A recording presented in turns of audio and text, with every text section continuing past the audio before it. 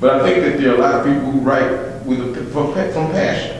Yeah. You know, because I really believe this. I really think that this is important. I think the world needs to know, needs to hear They this. want to be heard. You know, and, uh, or, you know, like that, or even curiosity. I want to know if anybody else in the world is experiencing what I'm feeling right now. Mm-hmm. You know, I'm gonna put this out there and then, you know, if they, if they spear me, then, you know, so be. So You know, I'm the. Only one, but, you know, I, you know, can I be the only person on earth that's experiencing these feelings? Or I've got this research, or, you know, I've, I've, I've found something that I, it would be selfish for me to keep this to myself. Mm. So I just think there's a variety of motivations that, that can come, you know, and not excluding the self-promotion thing. You know, mm-hmm. but I think that there, there are many people that, that do things for different reasons. Right. And that, that, and the passion that comes from that. Uh, you know, for, like for me, it's hard for me to write about something I'm not passionate about. Mm-hmm. Uh, you know, I, I, it- it's work. You know, and a lot of what I have to do in the newspaper, because I'm transcribing or whatever, that's work. You know, but when it's something that, that I'm on fire about, you know, it's, you know, It it's becomes, yeah. it's a whole different phenomenon. I've written, oh, only a half dozen poems, but I never wrote a poem in my life except fourth grade when we had to sit down and make rhymes. But I found that during, just a few years ago, in the middle of conflict and self, self-detective work, trying to really find out how, how I was with myself and in a changing environment that I was in. I wrote poetry. I sat down and wrote it It out and me. scribed it, and that was my therapy. And something evolved that was very amazing at the end of at the end of it. It had nothing to do with my trying to get myself out there. It was trying to to the public. It was trying to get myself out there to me. hmm So yeah. And that, that's what came from that. My first Well, that- poem was I, such as I. First poem I ever wrote. I am me and so I be is another guy, someone such as I. If there be another guy, someone such as I. Let me spy on this guy such as I. And I was in the hospital at the time when I wrote that. I think, I, I definitely agree with, you you know, it, it has to, um, in order for you to get to the point to write down a piece, um, there has to be a starting point, which is usually, uh, passion, soapbox, or something that, uh, has set you on fire or maybe sad enough to, to want to either reveal or understand what's going on.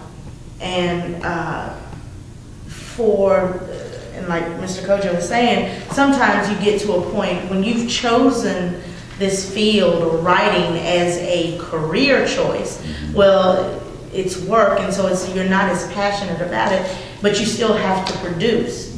And in that sense, no, there is no ego involvement. That's uh, survival because you need to you need to get that out there to make sure you get your paycheck. But um, when it comes to putting out a, a piece of um, or putting together a, a work such as a book or pamphlet or something like that, a lot of times it doesn't start out that way. It doesn't, but that's the end result. And so, um, for many other reasons other than self-promoting or self-indulgence or whatever, you know, I don't think it ever starts out that way, but eventually the ego may creep in for some people. Once you've done one and, and you know, oh, I can do this. Yeah. And you know, somebody's listening, ah, I must be pretty good. And that's where you have to keep that balance because then you lose the passion or you lose the drive and then it becomes, um, let me get another one out. Let me do another one. And, and that's where that, that balance between ego and, and the love for what you're doing has to be maintained. But that's why I said I don't believe, because there are a lot of people that write um, and no one ever sees that, that work, or no one ever hears it. So I think to, to write, um, it starts from a passion. Like for me, my pen pal when I was in England.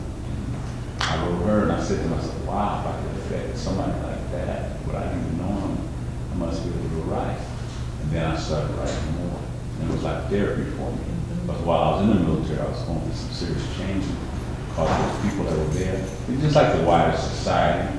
All the things that happen in the wider society happen on a base, uh, Air Force base or uh, Army fort, because you got all the different individuals and you got your structure, uh, command, and different rules and regulations and stuff. And uh, it's like being in a, in a, in a, in a little world away from uh, the mainland, you know. And uh, like me, I was innocent when I went in the military. I didn't think there was any crime or anything like that in the military. And then once I got in there and became a cop, I said, boy, this is real. Yeah. And they taught, what they taught us in basic training, we didn't use when we got on the base because of different personalities, and different leaders, and different NCOs and officers. It was all altogether different. And I tried to be as true as I could to the fairness part, and in a way it hurt me.